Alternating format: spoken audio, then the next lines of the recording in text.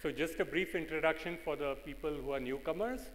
Last 32 years, I've been working with governments, businesses, and academia across Asia, Europe, and the United States, uh, including, you know, in my stint in India, I have uh, formerly been the IT and governance advisor to Manohar Parrikar when he was in his first stint as the Chief Minister of Goa.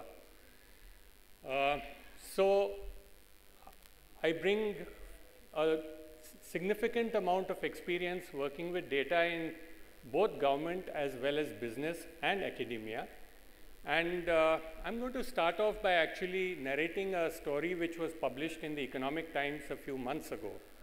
So the Economic Times actually pointed out that actually had an interview of a Russian living in the United States who was offering data of all the constituencies in India, electoral data of all the constituencies in India with 60 attributes for every individual.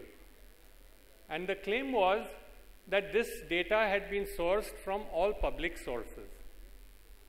So now I think it's important to recognize that in the absence of the way in which the election commission generates data and certifies what is genuinely theirs, there is no way for us to distinguish whatever is supplied by the United States or by any vendor from whatever is generated by the Election Commission of India. So therefore, my first point is that data protection does not start with privacy. It starts with the generation of data. So if while generating data itself, we have no norms about how data will be generated and whose data it is, there is no point in talking about privacy. The second point is that if it is not going to be certified by anybody, then you are not going to be able to distinguish between the real data and a copy of the data or something which purports to be data. Let me give you another example. I think we have all been talking about Aadhaar at infinitum. And I think Aadhaar is an excellent case to look at something which is not certified data. So there is no way to tell, distinguish between a fake Aadhaar generated as was pointed out by Anand and Rachana Khaira, and data and Aadhaar generated by a genuine enrollment happening through one of the enrollment agencies of one of the registrars of UIDAI. And as a consequence, if somebody generates an Aadhaar based on your demographic or biometric information, and it is not certified by the UIDAI, there is no way to tell what is the difference between these two databases or these two records that you obtain? So therefore, your data has already been compromised the day you decided to enroll for Aadhaar. It was given away to enrollment agencies which could have produced multiple records of your identity and created multiple individuals because the UIDAI, again under RTI, has very clearly said we cannot produce a unique record based on your biometric. This is something which they have admitted on RTI. So therefore, it's very possible that there are multiple records of individuals which exist. How do you protect that data? That data belongs to you.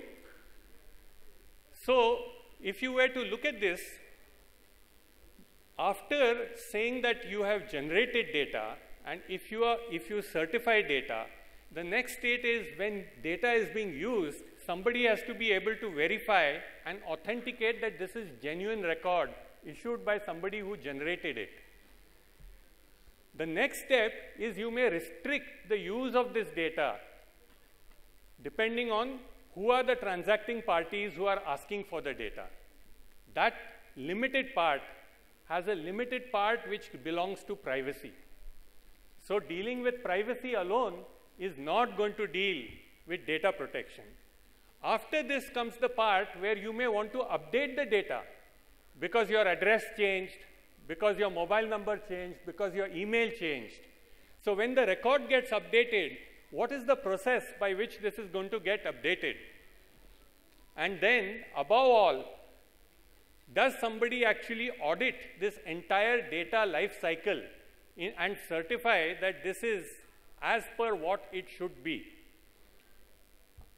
I'm sorry to report that the current draft bill of Srikrishna committee does not deal with data protection at all in these terms. They deal with a very limited aspect of privacy. The second point is essentially that if you look at any data being generated, when you go to your banker, your data is between you and your banker. No third party has any right to your data. There is no reason why this data should be made available to somebody who is selling cars, real estate, or televisions, or anything else. Now, the draft bill actually creates you as a data subject and creates some, some entity who can get access to this data as a data fiduciary. So therefore, it is now creating a new entity to whom it is giving rights which never existed before.